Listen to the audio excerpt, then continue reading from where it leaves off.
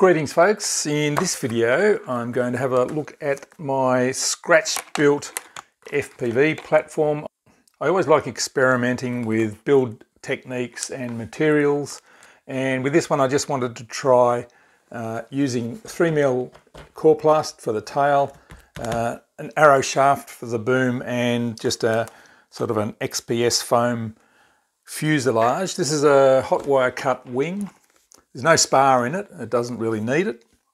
600 millimeter flat section, 300 millimeters each end, and they're just sort of angled up about 30 millimeters at the tips for a little bit of dihedral, and the ailerons are just in the tip section.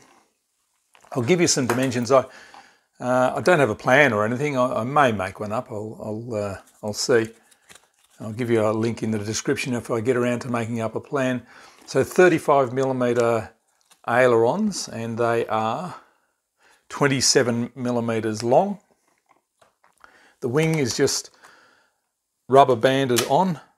The fuselage is solid XPS foam. Uh, that is about 55 by 60 millimeters.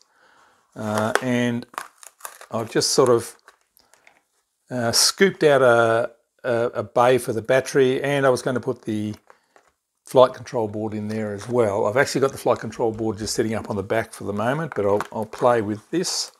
ESC is just inside. The motor, I can't even tell you what the motor is. It's a slow revving, revving motor off a, a glider of some sort because I've got that folding prop on it. Uh, that's a eight and a half inch prop by six inches or something like that. So it's a nice sort of uh, slow flying, glidey sort of motor. The wing chord is 20 centimeters. Clark Y, it started off at as, and I stretched it out and thinned it down so that it's 10% uh, airfoil section. Nice flat bottom for the most part. When it sits on the fuselage on the flat bottom, that, that actually gives it a few degrees of uh, nose up angle of attack. So that seems to be working out pretty well. I did put a little bit of uh, angle on the tail boom so that the, the, tail sits up a little bit to again give it a, bit, a little bit of um, few degrees difference between the tail plane and the uh, wing. And that seems to be about right. A couple of servos, just uh, cheapo servos, servos down on the tail there. Got a little GPS sitting up on the tail there. Uh, Matek F405 wingboard there. Express LRS receiver just glued on the tail there. So the fuselage is just a, a kind of a, a, square or a rectangle of foam. And uh, as I said, I scooped out the battery bay there and then just sort of carved it down to fair it into the uh, rear section there. Everything's just hot glued on. Quick and easy build uh, and it flies very well actually. The tie downs, I printed up some plastic uh, brackets there to glue onto the sides of the fuselage and then a, a, carbon rod going through there to attach the rubber bands to. Just uh, Icy-Pol sticks on the wing to stop it biting in, covered with uh, coloured packing tape. So the battery bay, I, I scooped that out with the hot wire cutter uh, and then just glued on some 3mm Coreplast either side as cheeks to sort of fill it in and a, a 3mm Coreplast top on the battery bay there.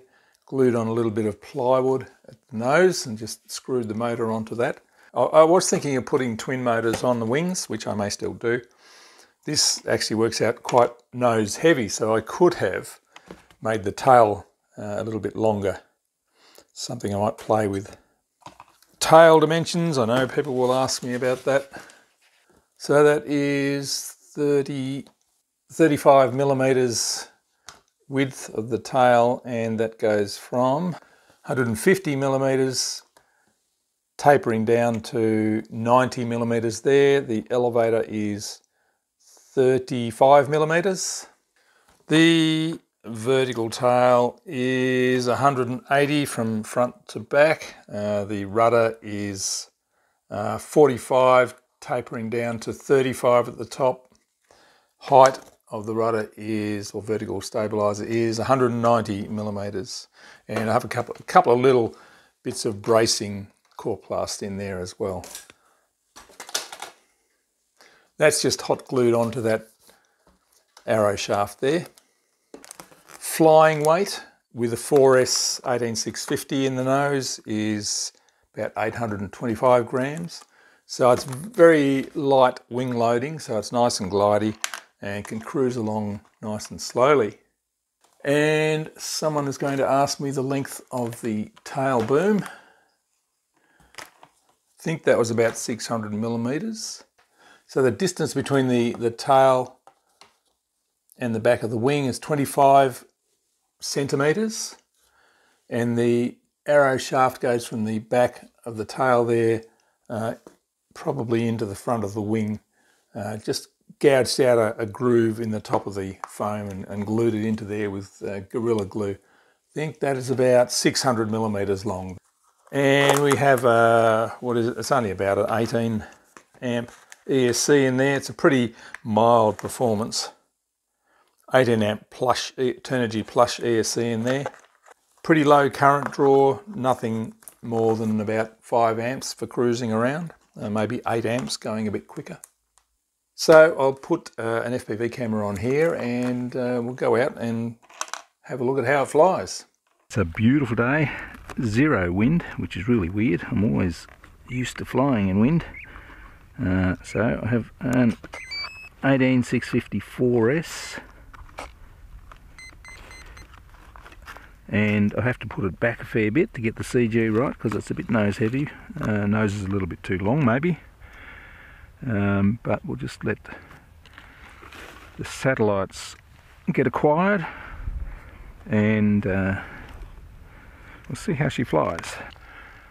A bit of wind coming from that direction but that's where the sun is unfortunately. Anyway, we'll give it a go. We're in acro mode actually but that'll do.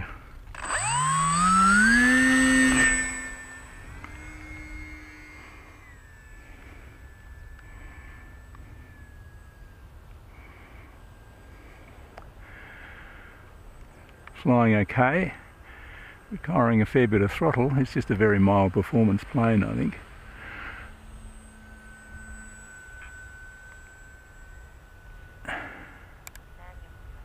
Manual mode there now.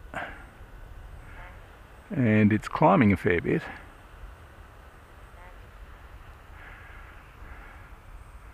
But the auto trim will take care of that. There we go. Well, it's a very nice, smooth, mild flyer. Definitely going nose up. Is that a bit tail heavy maybe? We'll fly around a bit to get those auto trims going.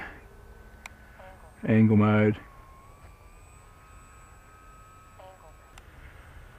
Acro mode.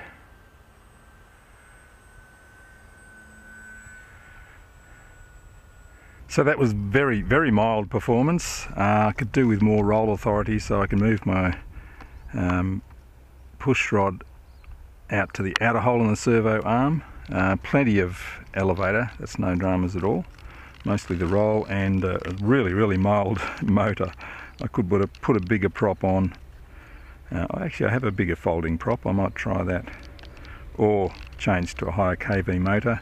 But yeah, it's nice cruising around anyway. Maximum current uh, draw is about 10 amps, so uh, it's pretty mild.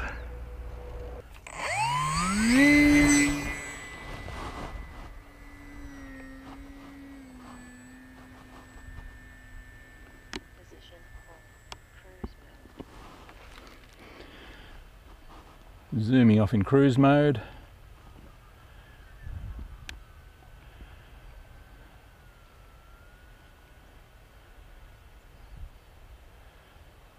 Acro now.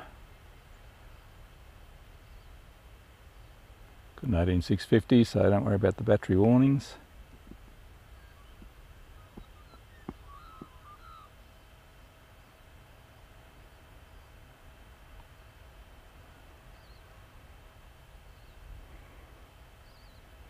Bit more wind picking up now. I really do need a higher KV motor to punch into the wind.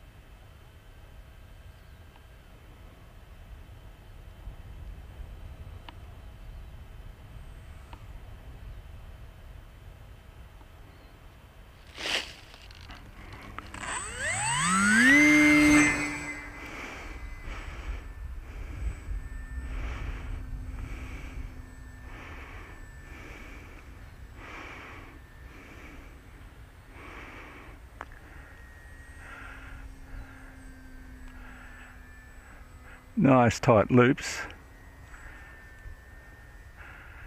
But the rolls are ridiculously slow. I have to get up high to do the roll.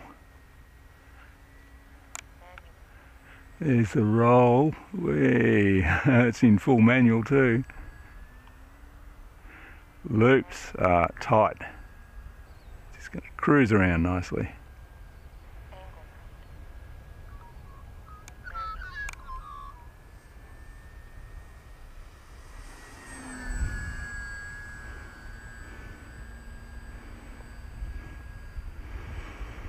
But I would say this is very much a success. I just need to uh, increase the performance a little bit.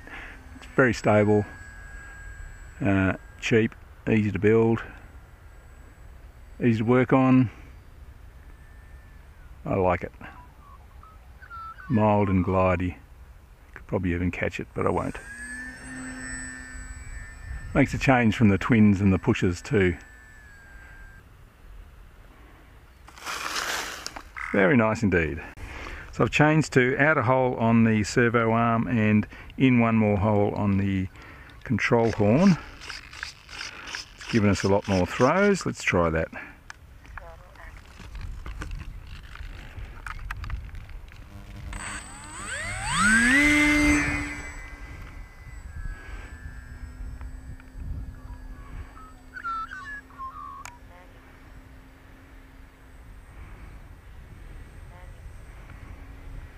Better. Yeah, giving a better roll right now.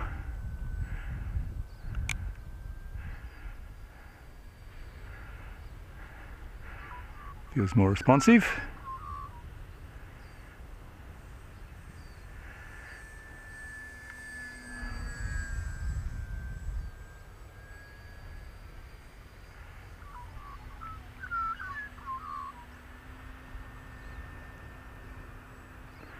Nice and quiet this plane, it's good. Yeah, that's better.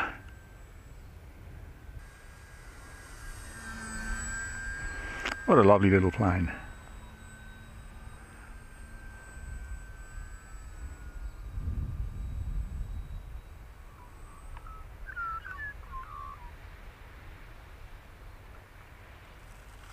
Almost made it home. Very nice. Okay, that'll do. Thanks for watching. See you in the next video.